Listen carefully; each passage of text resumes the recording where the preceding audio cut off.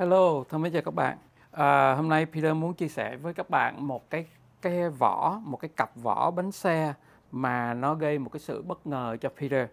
À, thứ nhất á, là nó rất là nó rất là tốt, à, đạp rất là lướt, đạp cũng không có thua gì những cái bánh xe mà Continental mà Peter đã có ở nhà.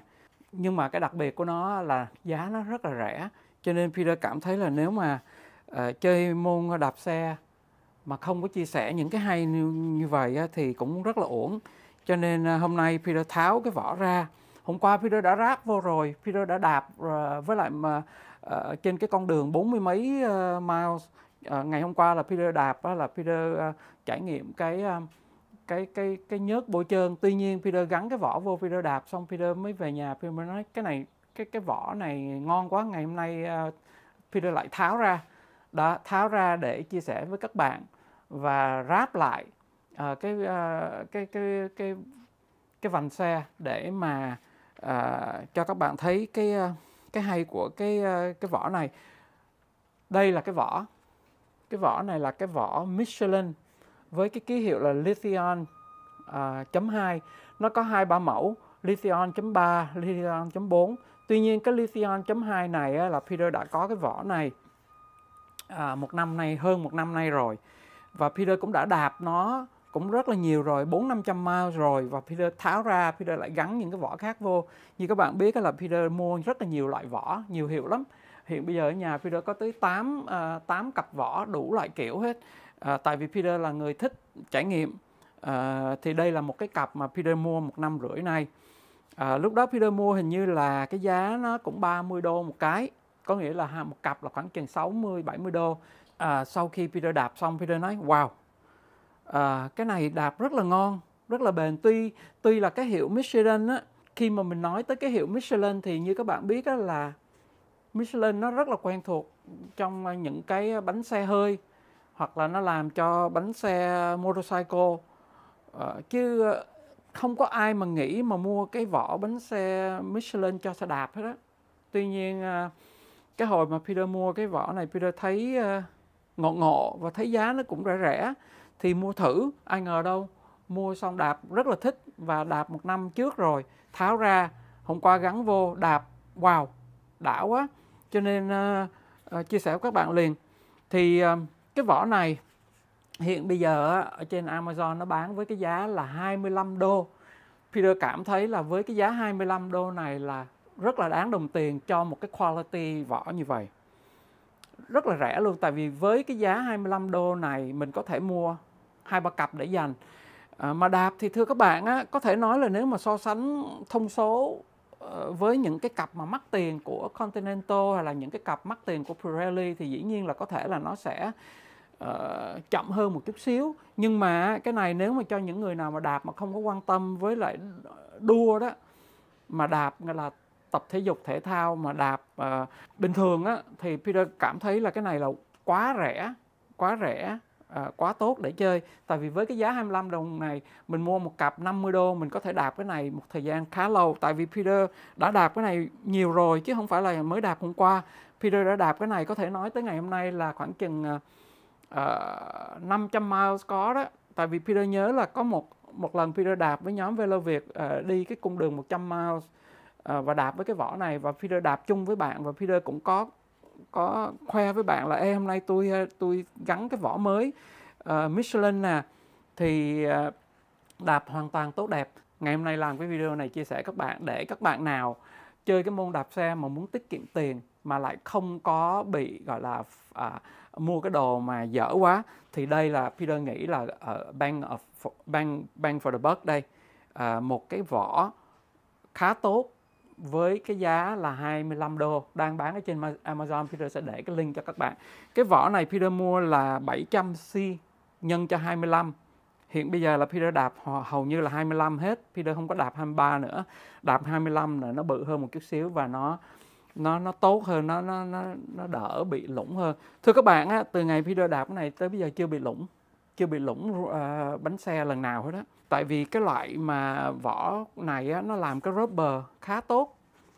Nếu mà lật cái phía đằng sau ra thì Peter cảm thấy là cái cái cái cái rubber ở đằng trong á nó làm khá tốt. Michelin mà thưa các bạn á là Michelin là nổi tiếng về vỏ xe hơi rồi vỏ xe motorcycle rồi. Thì không có lý do gì mà nó làm cái vỏ xe đạp mà dở hết á. Nó không có nổi tiếng trong xe đạp là tại vì nhiều khi nó không có quan tâm uh, cho xe đạp nhiều bằng ờ, nó quan tâm cho vỏ xe hơi. Tuy nhiên với cái công nghệ và những một cái công ty như Michelin mà nó làm những cái món hàng này Peter cảm thấy là nó không có tệ. À, đây nó có ghi là made in Thailand Michelin nhưng mà made in Thailand thì Peter nghĩ cũng không sao made in Thailand thì cũng không có phải là đồ dở đâu.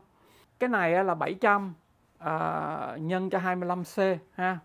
25C là cái vành ngang là 700 là cái vòng tròn gắn cho xe đạp uh, road uh, Peter sẽ gắn vô cái niền uh, ờ, Campact Nolo này của Peter đây. Uh, nó nặng 245 gram. Thì uh, thưa các bạn á, là với cái trọng lượng này á, thì là là trung bình không có không có nhẹ mà cũng không có nặng lắm. Peter có làm một cái spreadsheet liệt kê hết tất cả những cái cái vỏ xe đạp mà nó bán ở trên thị trường. Và trong cái lượng cái spreadsheet đó Peter cũng có một số cũng đã có mua một số uh, và uh, trọng lượng của mỗi mỗi mỗi cái. Và hiện nó bán cái giá là bao nhiêu. Ở trên cái spreadsheet đó cái vỏ này là rẻ nhất rẻ nhất mà đối với Peter là ngon nhất và Peter đã có trên tay và đã đã dùng rồi. Và cái trọng lượng 245 gram này nếu mà so sánh ở trên cái spreadsheet đó nó không có nó cũng nặng ngang với lại những cái hãng nổi tiếng khác ví dụ như là Continental, Pirelli hoặc là ờ, uh, Swabi hoặc là Victoria. Cho nên nó không có phải là cái loại mà nặng hơn. Tuy nhiên giá nó rất là rẻ. Nếu mà các bạn lên Amazon mà mua ngày hôm nay á ở trên đó nó đang có 1.500 cái ờ, cái cái reading có nghĩa là 1.500 người đã chấm điểm nó và cái điểm trung bình của nó là 4 sao. Thì thưa các bạn là 4 sao là Peter cảm thấy quá tốt rồi. Tại vì nếu mà đạt để đạt được 5 sao uh, trung bình hết thì cũng hơi khó. Uh, đối với Peter Peter có thể nói với các bạn là yes cái này đối với Peter là rất là đáng uh, để được 4 sao không những như vậy á, đối với Peter Peter cảm thấy nó cũng đẹp nữa cái chữ màu trắng thôi nó nó làm đơn giản thôi nó nó không có rườm rà. Bây giờ Peter sẽ ráp cái này nó vô với cái ờ, cái vành uh, uh, Nolo của Peter đây. Thông thường á, cái vỏ xe á, nó có nó có định hướng nha. Nó định hướng. Thì nếu mà nó định hướng á, thì ở trên cái vỏ xe nó sẽ có một cái mũi tên. Tuy nhiên á, cái vỏ này á, nó không có định hướng có nghĩa là mình muốn gắn cái hướng nào cũng được hết. Nó không có cái mũi tên. Và thứ hai nữa là ở trên cái cái description của nó nó không có nói mình là phải gắn theo kiểu nào. Tiện thể video hướng dẫn các bạn cách gắn luôn. Đây là cái lỗ van. Thì thông thường á, là mình sẽ gắn cái cái chữ, cái chỗ mà nó có cái chữ ở trên cái vỏ nè. Song song với cái van này để anh chị biết không? Cái lúc mà mình bị lủng bánh xe đó, mình mình tìm cái van nó cũng dễ hơn mình chỉ có nhìn cái chữ thôi là mình biết cái van nằm đâu. Thì bây giờ mình gắn cái mép đầu tiên vô. Ok đó gắn cái mép đầu tiên vô. Đây là cái đây là cái lỗ van nè và Peter để cái chữ nó song song cái lỗ van cho nó cho nó đẹp. À, vì cái bánh này của Peter là 45 cho nên Peter mua cái thúc mà với cái van à, dài. Cái van này Peter chọn cái van à, 60 tại vì Peter cũng có cái van 80 nữa nhưng mà 80 thì nó lòi ra dài quá nó cũng mất đẹp. Thì Peter chọn cái 60 thì Peter thấy là cái 60 nó rất là vừa vừa vặn với lại những cái ờ, cái vành mà 45 như là cái ờ, Campy Campi Pora đây. Đây là cái cách gắn uh, thước của Peter. Peter thưa các bạn là Peter tháo ra gắn vô tháo ra gắn vô cũng cũng cả trăm lần có đó cho nên Peter rất rành cái này. Khi mà mình bỏ cái thước này vô rồi á thì à, mình sẽ lấy một cái à, một cái nấc này nè. À, cái cái đồ một khóa khóa cái van nè. Mình vặn vô. Nhưng mà mình đừng có vặn hết ga. Mình vặn lỏng thôi, vặn vặn lỏng thôi nè, để cho để cho nó giữ cái cái van thôi, chứ chứ mình đừng có siết, chưa chưa siết liền, ha. Xong rồi bây giờ mình cho cái cái ruột chung quanh. Mình đừng có bơm hơi nha. Peter không có bơm hơi, cái thước lát nữa mình mới bơm. Rồi bây giờ mình vỗ cái cái mép thứ hai thì à, cái mép thứ hai á, là Peter không có thích làm ở ngay cái chỗ cái van. À, à, Peter làm từ cái chỗ cái van mà Peter để hở cái chỗ khác là tại vì lát nữa mình nảy vô á Peter không có muốn nảy gần cái cái van quá tại vì nảy gần cái chỗ cái van này nó có thể nó hư. Thì á Peter sẽ cho cái mép vô cái mép thứ hai vô cái chỗ cái van trước. Và khi vô cái van khi vô cái mép cái van á các bạn nhớ á, là mình bóp nhẹ nhẹ ở đây nè. Và hồi nãy Peter nói là cái này để lỏng là tại vì á mình không có muốn nó bị cấn ngay cái chỗ này. Ha mình muốn hai cái mép này nó không có cấn vào cái van. Nó không cấn là mình biết liền à mình có thể kéo lên kéo xuống á, là mình biết nó không có cấn. Đó lý do tại sao mình để lỏng cái này bây giờ. Cái mép cuối cùng. Cầm sẵn cái à, cái đồ này nè và như các bạn thấy á, là cái mép cuối cùng chứ chưa có vô nè. Lúc nào cũng vậy cái vành xe lúc nào nó cũng là cái mép cuối cùng là cái cái mép khó nhất. À, nếu mà cái vành nào mà mình vô bằng tay không được á chứng tỏ cho thấy á, là hai cái hai cái niền của cái cái vỏ là cái loại nó tốt nó cứng. Cho nên nó hơi khó vô nhưng mà nó khó vô cũng là một cái lý do là tại vì á, mình gắn không mình không có hiểu cách gắn. Thì trong cái giai đoạn mà khó vô như vậy á mình phải make sure là cho cái cái cái mép đầu tiên này nè nó đừng có nằm ra ngoài nó nằm ở ở cái rãnh ở giữa. Khi nó nằm ở rãnh ở giữa thì cái độ giãn hồi của cái um, cái vỏ nó nó nó coi nó giãn nhiều hơn ok? Có nghĩa là nó không có nằm ở vành ờ, nó nó đang nằm ở cái rãnh ở giữa. Tại cái rãnh ở giữa nó có cái nó nó nó, nó thủng xuống. Thì nó thủng xuống như vậy á nó nó chưa có căng cái vỏ. Và vì nó chưa có căng cái vỏ thì mình sẽ có chỗ để mà mình à, nạy vô. Nếu mà tới đây á, mà mình nạy vô khó đó thì mình mình bóp xung quanh này một chút. Các bạn cứ làm một vài lần. Nhớ là mình cho cái rãnh à, cho cái mép à, kia nó nằm ở cái cái lũng của cái vành viền á, và tới đây á, là bắt đầu mình mình nạy đó, này nhẹ thôi. Có nhiều cái vành nó khó khó làm. À, một một cái nữa các bạn với lưu ý là khi mà các bạn nảy như vậy á nhớ là cái cái mép này nó đừng có cắn vô cái ruột nha. Nó cắn vô cái ruột là lúc mà mình bơm hơi lên nó sẽ xì. Đó như các bạn thấy á, là cái, cái cái vỏ này nó cứng nó cũng hơi khó vô một chút thì Peter sẽ nương nó một chút xíu. Mình kiếm cái mép nó đây. Đó, mình cho mấy cái cái mép nó nằm ở giữa để cho nó có cái sự uh, co giãn thoải mái chút xíu. Rồi khi mình phải để qua cái thế này dễ làm nữa. Mình tìm cái thế nào mà dễ làm cho mình ha? Tại vì mỗi người một thuận tay một cái kiểu khác. Ở cái thế này á, thì Peter sẽ đó ở cái thế này á mình khỏe khỏe hơn.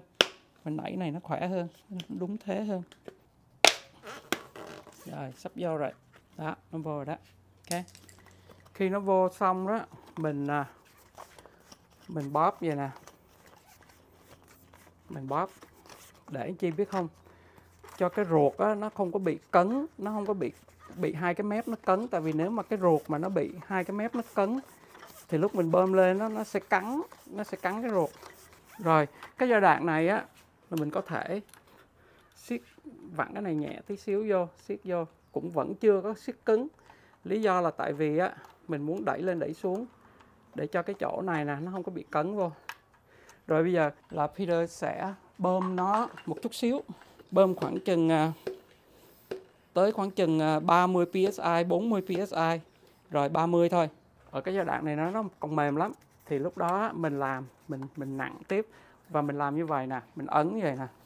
Lý do mình ấn như vậy á, là để cho cái à, cái ruột á nó không nếu mà nó có bị cắn nó nếu mà nó có bị cái mép nó cắn á, thì nó có cái cơ hội nó tuột ra. Mình nện nện nện nhẹ vậy nè. Chịu khó làm từ từ. Từ hồi mà Peter làm cái kiểu này á, chưa bao giờ Peter bị uh, tét ruột hết rồi yên tâm. Xong rồi á bây giờ á, bắt đầu bây giờ là mình sẽ bơm hết ga thì bơm hết ga thì tới cái điểm này á mình yên tâm rồi. Mình cũng có thể nới nhẹ ra đẩy lên đẩy xuống cho nó make sure đẩy cái cái cái van nè lên xuống để cho nó không bị cấn. Rồi vặn vặn vô siết vô. Cái vỏ này á, nó nó nói là mình bơm từ 90 cho tới 113 thì feeder sẽ bơm 90 thôi tại feeder cũng không thích đập căng quá. À các bạn nghe cái tiếng nó kêu bóp không? Có nghĩa là đó rất là tốt luôn. Cái tiếng đó là cái tiếng tốt đó. Cái tiếng nổ đó là đó cái tiếng nổ là cái tiếng tốt đó. Có nghĩa là cái mép á, nó đã ăn vô cái niền mà nó ăn như vậy là nó ăn rất là khích luôn. Khi mà mình nghe cái tiếng mà kêu bóp bóp mà tiếng nổ như vậy á là cái mép nó đã ăn vào cái niền ăn chắc vào cái niền luôn. Và như vậy lúc mình đạp mình không có sợ bị à, bị bị bị bung ra. Và như các bạn thấy là cái bánh xe này gắn lên cái niền này rất cũng rất là đẹp luôn đơn giản thôi nó có cái chữ màu trắng. Và đây là 25 nè. Hiện hiện bây giờ ở trên ờ, trên mạng nó bán cái này là chỉ có cái mẫu 725 thôi chứ hình như cái mẫu này nó không có bán 28 tuy nhiên ờ, cái 25 là cái thông thường nhiều người đạp ok? Peter đã đạp ờ, uh, 25 cũng ba hai ba năm nay rồi. Đó một lần nữa cái này là cái mẫu uh, Michelin Lithium. Michelin Lithium 2 cái giá nó bán ở trên Amazon là 25 đô kích thước là 700 nhân cho 25C và nó nặng 245 gram. Khi gắn lên cái wheel này Peter cầm không có nặng nó như là gắn những cái vỏ khác. À, cộng với ruột vô cái ruột khoảng chừng à, mấy chục gram nữa thì cái cái này à, gắn vô là tuyệt vời. Peter đã đạp với cái này à, nhiều rồi lúc trước rồi và hôm qua Peter đạp xong hôm nay về là Peter nghĩ trong đầu là à, phải làm cái review này cho các bạn. Chạy không có review à, cái cặp này cho các bạn thì Peter thấy nó cũng hơi ổn. Đó và như các bạn thấy là bây giờ á khi mà bơm căng lên rồi á là cái con ốc này nó nó nó, nó lỏng là lý do là tại vì nó đẩy cái cái ruột này sát vô rồi. Thì bây giờ ngay cái giai đoạn này là cái giai đoạn mình mới bắt đầu mình siết con ốc và mình đóng cái van. Và mình à, có nhiều người để hở như vậy mà Peter không có thích để hở như vậy. Tại để hở như vậy lúc mình đạp cái đất bụi nó vô thì Peter đóng Peter có cái cap nè. Lúc nào Peter cũng gắn cái cap đó, tại vì gắn như vậy nhìn thứ nhất là nó nó nó bảo vệ cái cái cái cái chỗ bơm hơi đỡ dơ bẩn và nó đỡ bị gãy nữa. Nhỡ khi mình gặp sự cố á, cái cục đá mà nó văng vô nó gãy cái đầu đó là cũng mệt lắm. Mình không có xì hơi được mà không bơm hơi được. Thì Peter lúc nào cũng gắn cái cap này lên mà đối với Peter gắn vô là nó lại đẹp nữa. Một cái chia sẻ à, một cặp vỏ tốt bền đạp đạp ok đạp rất là sướng. Hiệu Michelin là một hiệu mà uh, Peter có thể uh, highly recommend. Tuy nó không phải là một cái hiệu hiệu uh, nổi tiếng của dân đạp xe đạp uh, nhưng mà nó rất là nổi tiếng xưa giờ rồi. Như các bạn biết là hiệu Michelin vỏ Michelin là là có tiếng nhất trên thế giới về về xe đạp. À, à xin lỗi về uh, xe hơi và xe motorcycle. Rồi ok thân mến chào các bạn. Hẹn các bạn trong cái video kế